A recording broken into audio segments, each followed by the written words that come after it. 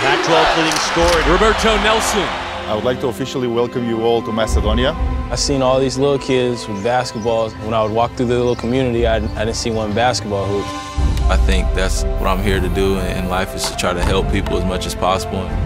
To leave the OSU up there with them, we'll have fans for life. This is Rise and Grind, Oregon State Basketball.